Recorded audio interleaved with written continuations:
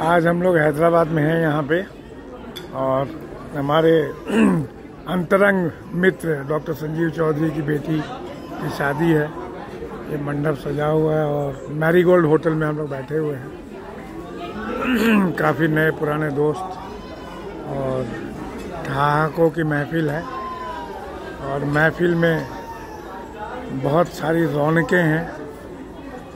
अब इस रौनक में इजाफा करने के लिए लोग बैठे हुए हैं। एक मैडम हैं विनीता मिश्रा जी। ये हैं शीला सिन्हा जी। ये हैं हमारे मित्र राकेश मिश्रा जी।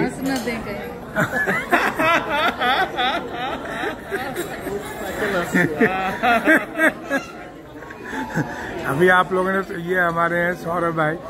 तो अभी आप लोगों ने जो हँसी सुनी है तो इसलिए मैंने कहा कि ठहाकों की महफिल में ना आया करो, ना जाया करो। ठहाकों की महफिल में ना आया करो, ना जाया करो। हम जैसे दिल जलों की नज़रों को बचाकर दिल ना जलाया करो। तो ये हैं हमारे राकेश भाई। और देखिए, मज़ेदार और धर्म पत्नी विनीता जी के बारे में कहना मतलब कि छोटा मुँह बड़ी बात, इनको कुछ कहे नहीं। ये इतना शुभ कार्य कर रही हैं समाज के लिए। और लोगों के लिए डेस्टिट्यूट बच्चे जो हैं, जो गरीब परिवार के और उनको। और सबसे बड़ी बात है कि अपने हाथों से मसाला सिलवट और लोढ़ा में पीसा जाता है। ये मैं बचपन में जानता था कि मेरी माँ से वो करती थी। अब तो मिक्सी का ज़माना है, लेकिन यहाँ मैडम है जो कि सिल्वर पे बैठ के और वो करती और वहाँ पे फिर सारे बच्चों को जो कि झोपड़ी में और जो बहुत ही मजबूर बच्चे हैं, परिवार है लड़के लड़कियाँ हैं, उनको अपने हाथों से खिलाती हैं, बनाती हैं। तो ये इनके लिए तो मैं मतलब कि इतनी बधाइयाँ और शुभकामनाएँ हैं कि कम है।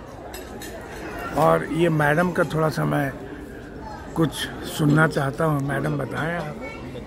हाँ कुछ आपका कैसे चल रहा है? और आपको ये प्रेरणा कहाँ से मिली कि आप ये शुरुआत करें और इस फ़ील्ड में जाएँ? जो इसको समाज सेवा तो हमने बहुत सुना हुआ है कि पूरे विश्व में समाज सेवा का हर फ़ील्ड में लोग हैं और हर जगह वुमेन पावर है और पता नहीं क्या क्या है सब। लेकिन आपका जो यूनिक वो है ना, ये बहुत एकदम अपने तरीके में अलग ही है, जो कि बच्चों को और ये वो देखना, बनाना। सबसे बड़ी बात है, लोग बना के ले जाते हैं होटल से या आउटसोर्स करते हैं। लेकिन मैडम है विनीता जी, जो कि खुद अपने हाथों से बना के और बच्चों को खिलाना और उनसे लिपट जाना, ये बहुत बड़ी बात होती है और बहुत बड़े दिल की बात है ये। नहीं तो सबके बस की बात नहीं है ये, कि इतने छोटे लेवल पे जाके और हम लोगों की सबकी शुभकामनाएँ हैं कि इसी तरह अच्छा काम करें। मैडम दो मिनट दो शब्द कुछ बोलेंगे। देखिए ऐसा है कि कुछ भी मैरिज डे हो बर्थडे हो कुछ भी हो तो हम लोग मार्केट से लेके दिया करते थे बच्चों को जाके स्लम्स एरिया में। बच्चों के साथ टाइम भी बिताते थे और उनके लिए कुछ ले भी जाया करते थे पैकेट्स में।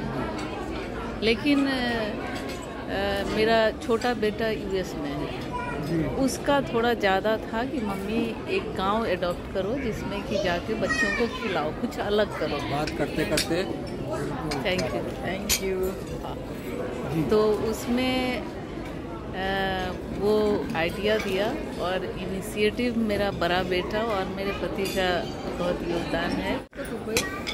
बहुत बहुत बहुत धन्यवाद मैडम। और इसी तरह आप शुभ कार्य करते रहें और आगे बढ़ते रहें। और हम लोगों को मौका दीजिए कि आए, दर्शन करें ऐसे महान विभूतियों को आप जोड़कर रखे हुए हैं। बहुत बहुत धन्यवाद और शुभकामनाएँ।